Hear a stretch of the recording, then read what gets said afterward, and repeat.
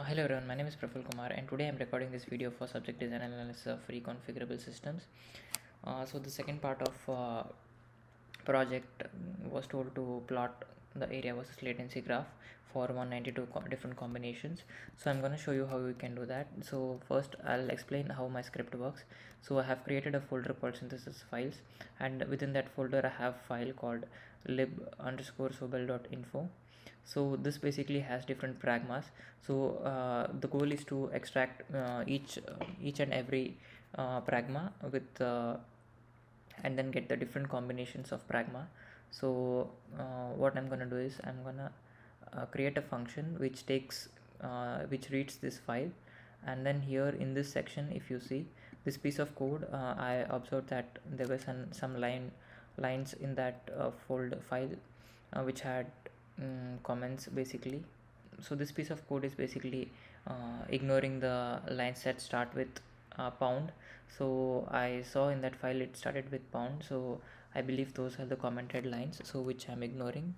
Uh, and then in this piece of code if you see it's basically creating different combinations and then uh, it's basically writing it into a file into a new file. So if you see the right uh, uh, command here it's basically writing uh, the different combinations in inside different uh, header files. I'm gonna show you the folder uh, which that was created by the script. So if you see if you see if you go in the output folder uh, there is a folder called sobel headers which was created by the script. So this has 192 combinations of different header files so you get 182 iterations uh, different combinations with uh, pragmas that was created by the script. So what i'm gonna do is the next step uh, inside the code is uh, I copy all the necessary files uh, inside a, a new folder. So basically what I need is I need a .c file and then I need uh, flib and blib file. And along with that I need a header file of that configure of uh, different configurations so what I'll do is I'll create 192 folders.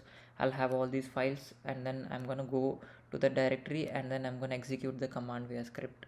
So this piece of code is nothing but cop it's copying the necessary files. So if you see the necessary files are here. Uh, sobel.c and cyclone5.blib and this is the flip file. So basically what i'm doing is i'm copying all the three files inside a new folder. Along with that uh, i'm gonna pick one of the combination of the header file inside that folder and then i'm gonna go into that folder and then i'll uh, basically use my cui uh, to run the command and synthesize synthesize the code basically. So uh, so in this piece of code i'm basically uh, copying all the files so i'm going to show you the directory that was created. So if you see the main folder so it has different subfolders. So if you see uh, the subfolder 23 if you see it has a header file. It's gonna have blib flib file and then the c file.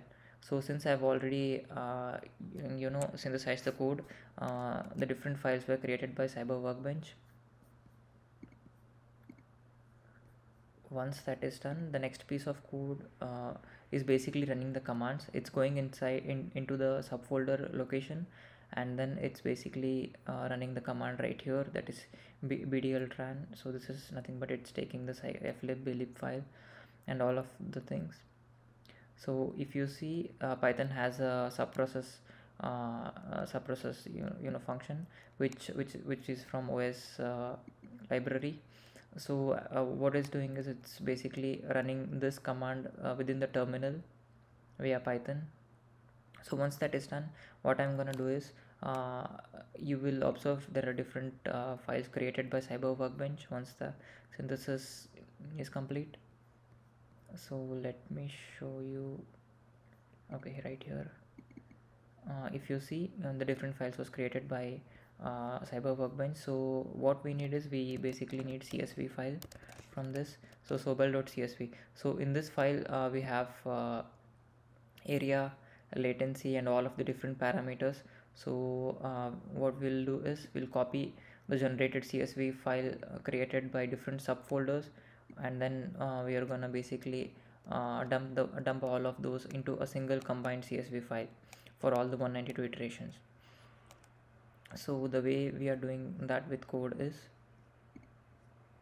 it's right here okay. Okay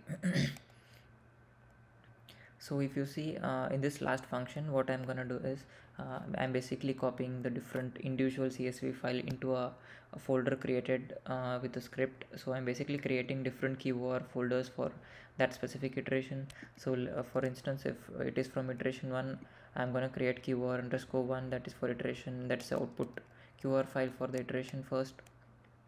Uh, so I'm doing this to uh, be organized so that I don't miss out on the files uh, once that is done I'm basically uh, collecting all the CSV file from the generated uh, subfolders. So I'm com I am creating a new file that is combined sobel.csv so this will basically have uh, all the parameters of different iterations. So if you see in this uh, main function I'm basically having all the sub functions. In this main I'm just running this function to run all of these so I'm gonna run the function and then I'll show you to you. So so let me see where am I right now. Okay I'm in the correct directory. If you see flow.py this is the script. So since python 3 was already installed and I'm, I'm just gonna do python 3.py okay so it has started creating the header files if you see and then it started pasting all the different combinations. And if you see it has started to run the commands so if you see it's running all the bdltran command for each iteration so it is creating qr2 this is the for second iteration. For second for third iteration is creating.